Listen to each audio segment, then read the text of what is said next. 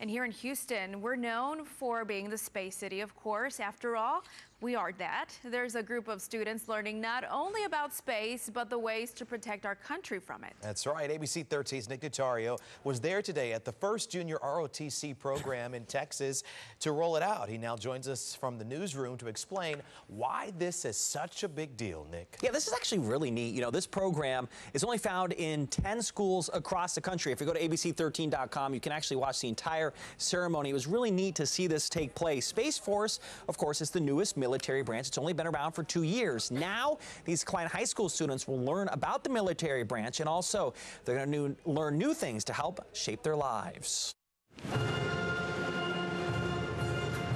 Nowhere else in Texas will you see something like this. At Klein High School today, a new flag was unveiled. Officers created and special pins placed on uniforms. A lieutenant general put this on me, and so I will not be taking it off unless someone takes it off for me. These students might just be the next guardians of the galaxy. It was nerve wracking, especially when the general's pinning it on you. Klein High School now has a junior ROTC program you won't find anywhere else in Texas.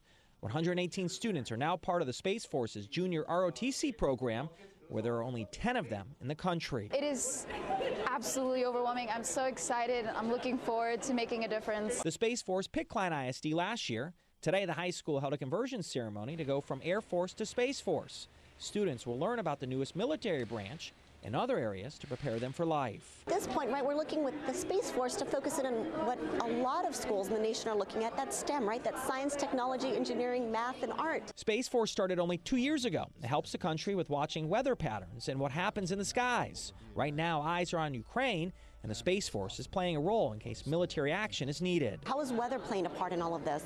How are the communications playing a part in um, maybe taking a look at intel gathering, taking a look at how do we protect maybe not what's only on the ground, but what is happening in space right now? Missions these Klein High School students are now learning and it's the only place in Texas you'll find it. The world is changing, and it's not just because of the day-to-day -day weather and etc., but it's by high school kids making a difference.